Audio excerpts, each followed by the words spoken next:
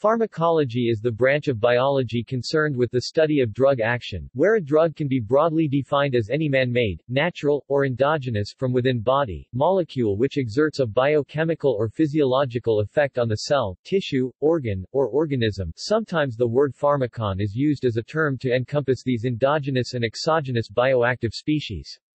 More specifically, it is the study of the interactions that occur between a living organism and chemicals that affect normal or abnormal biochemical function.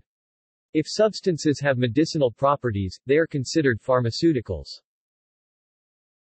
The field encompasses drug composition and properties, synthesis and drug design, molecular and cellular mechanisms, organ, systems mechanisms, signal transduction, cellular communication, molecular diagnostics, interactions, toxicology, chemical biology, therapy, and medical applications and antipathogenic capabilities. The two main areas of pharmacology are pharmacodynamics and pharmacokinetics. Pharmacodynamics studies the effects of a drug on biological systems, and pharmacokinetics studies the effects of biological systems on a drug.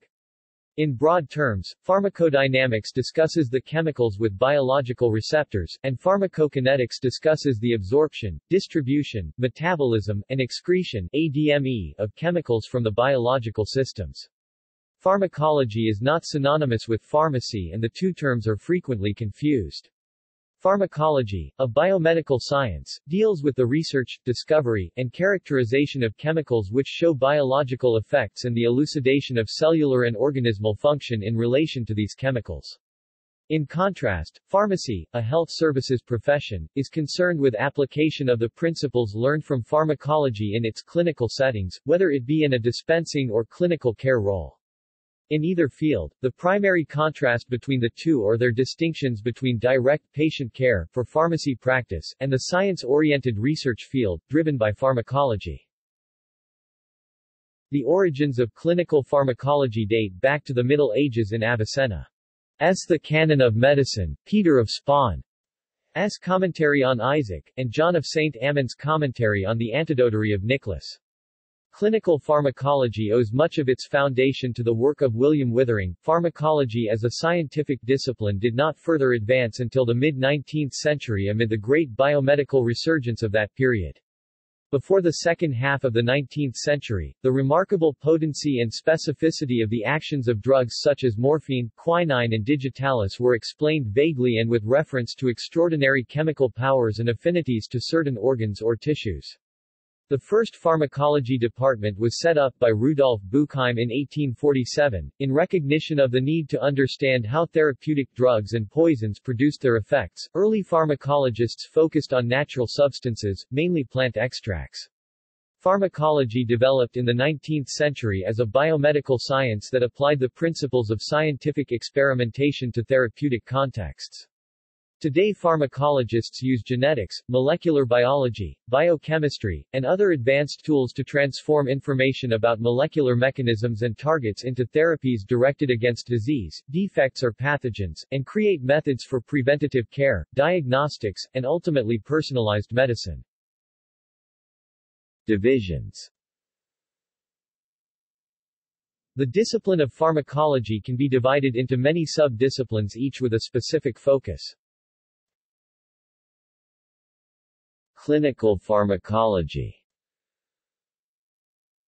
Clinical pharmacology is the basic science of pharmacology with an added focus on the application of pharmacological principles and methods in the medical clinic and towards patient care and outcomes. Neuropharmacology Neuropharmacology is the study of the effects of medication on central and peripheral nervous system functioning. Psychopharmacology Psychopharmacology, also known as behavioral pharmacology, is the study of the effects of medication on the psyche psychology, observing changed behaviors of the body and mind, and how molecular events are manifest in a measurable behavioral form. Psychopharmacology is an interdisciplinary field which studies behavioral effects of psychoactive drugs. It incorporates approaches and techniques from neuropharmacology, animal behavior and behavioral neuroscience, and is interested in the behavioral and neurobiological mechanisms of action of psychoactive drugs. Another goal of behavioral pharmacology is to develop animal behavioral models to screen chemical compounds with therapeutic potentials. People in this field, called behavioral pharmacologists, typically use small animals e.g. rodents, to study psychotherapeutic drugs such as antipsychotics, antidepressants and anxiolytics, and drugs of abuse such as nicotine, cocaine and methamphetamine.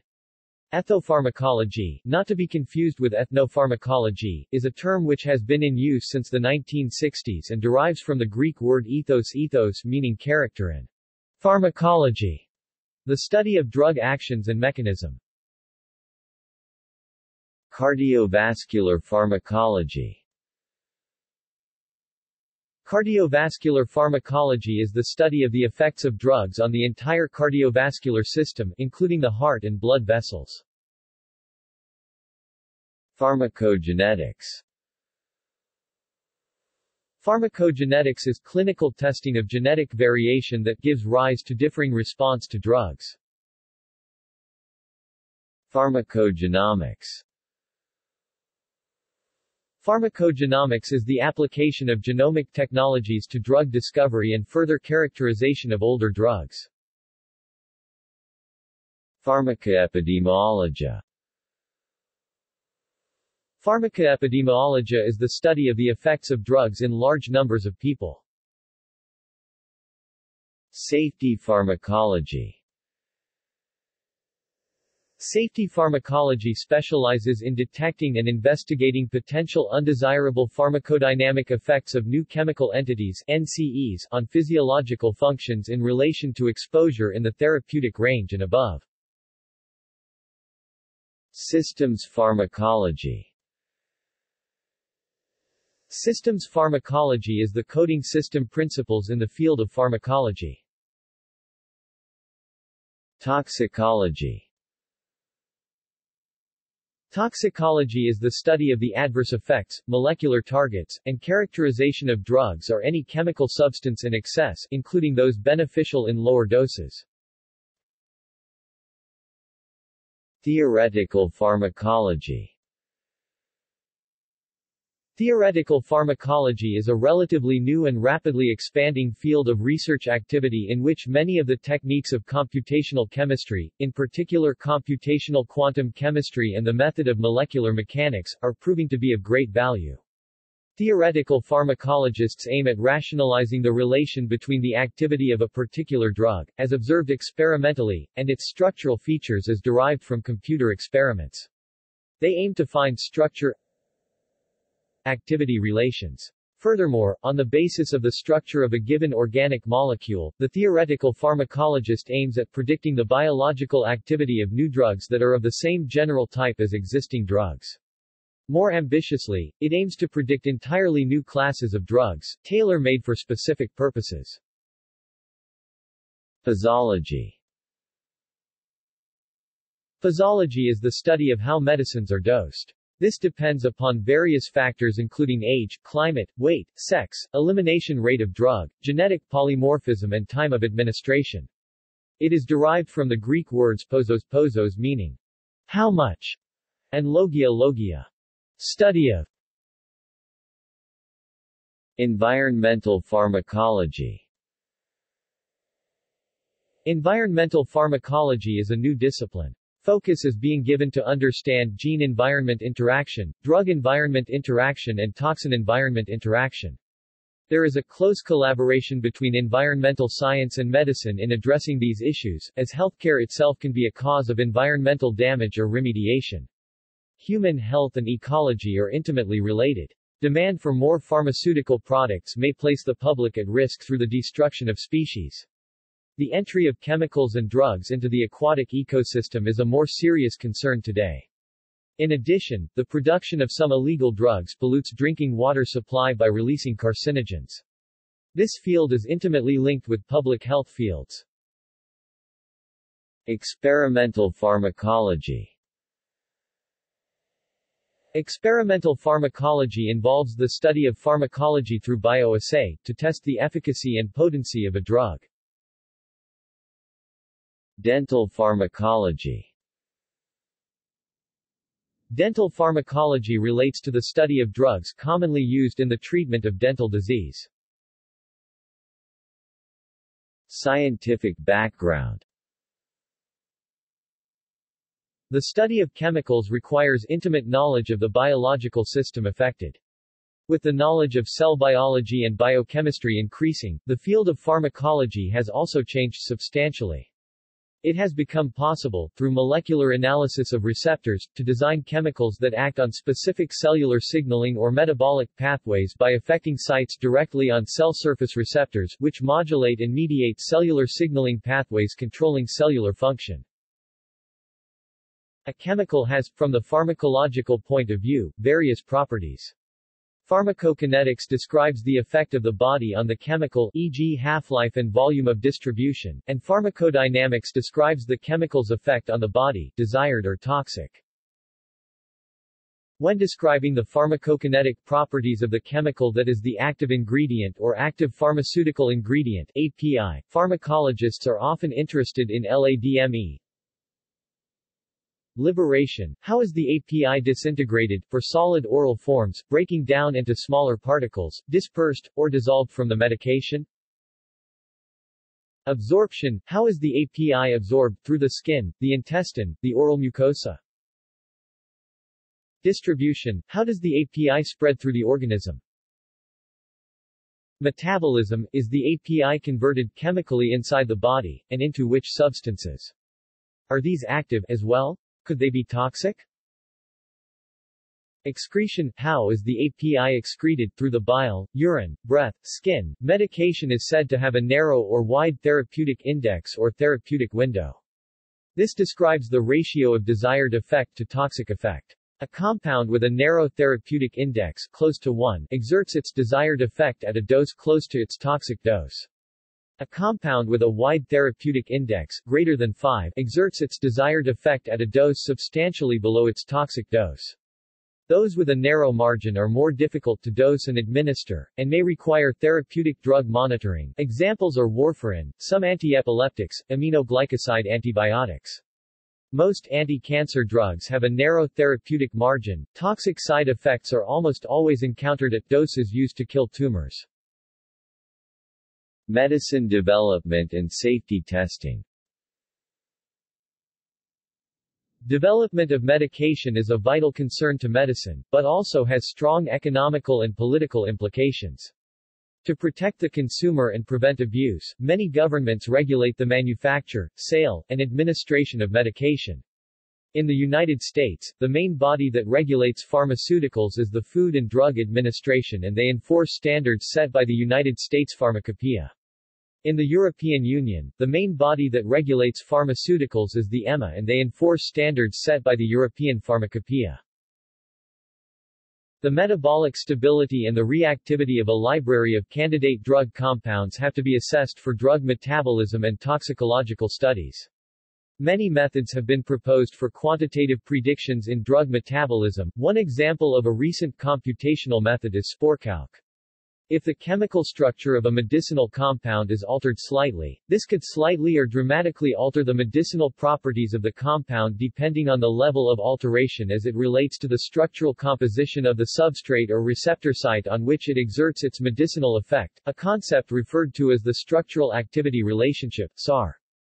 This means that when a useful activity has been identified, chemists will make many similar compounds called analogues, in an attempt to maximize the desired medicinal effects of the compound.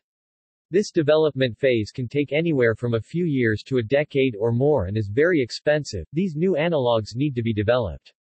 It needs to be determined how safe the medicine is for human consumption, its stability in the human body and the best form for delivery to the desired organ system, like tablet or aerosol.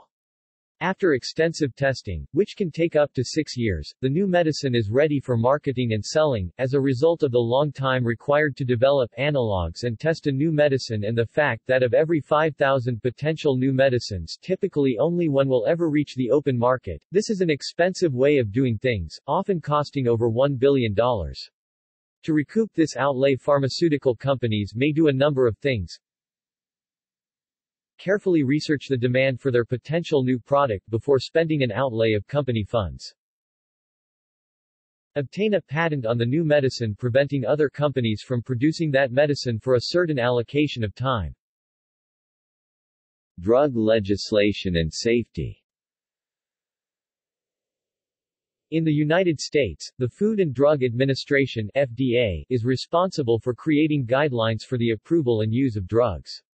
The FDA requires that all approved drugs fulfill two requirements. The drug must be found to be effective against the disease for which it is seeking approval, where effective means only that the drug performed better than placebo or competitors in at least two trials. The drug must meet safety criteria by being subject to animal and controlled human testing. Gaining FDA approval usually takes several years.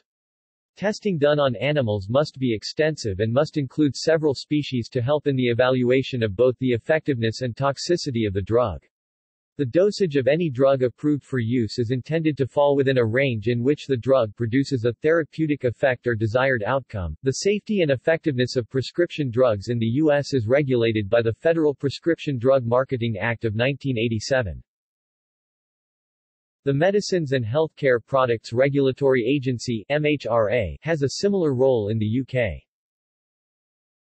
Education Students of pharmacology are trained as biomedical scientists, studying the effects of drugs on living organisms. This can lead to new drug discoveries, as well as a better understanding of the way in which the human body works. Students of pharmacology must have detailed working knowledge of aspects in physiology, pathology and chemistry.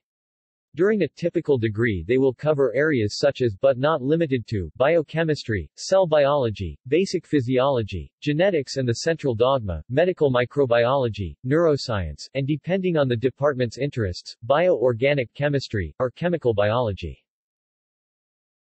Modern pharmacology is highly interdisciplinary. Graduate programs accept students from most biological and chemical backgrounds. With the increasing drive towards biophysical and computational research to describe systems, pharmacologists may even consider themselves mainly physical scientists. In many instances, analytical chemistry is closely related to the studies and needs of pharmacological research. Therefore, many institutions will include pharmacology under a chemistry or biochemistry department, especially if a separate pharmacology department does not exist. What makes an institutional department independent of another, or exist in the first place, is usually an artifact of historical times, whereas a pharmacy student will eventually work in a pharmacy dispensing medications, a pharmacologist will typically work within a laboratory setting. Careers for a pharmacologist include academic positions, medical and non-medical, governmental positions, private industrial positions, science writing, scientific patents and law, consultation, biotech and pharmaceutical employment, the alcohol industry, food industry, forensics, law enforcement, public health, and environmental, ecological sciences. Etymology The word pharmacology is derived from Greek pharmakon, pharmakon, drug, poison, spell, and logia, logia, study of, knowledge of, cf. the etymology of pharmacy. See also. References. External links American Society for Pharmacology and Experimental Therapeutics British Pharmacological Society Pharmaceutical Company Profiles at NNDB International Conference on Harmonization U.S. Pharmacopoeia International Union of Basic and Clinical Pharmacology IUPHAR Committee on Receptor Nomenclature and Drug Classification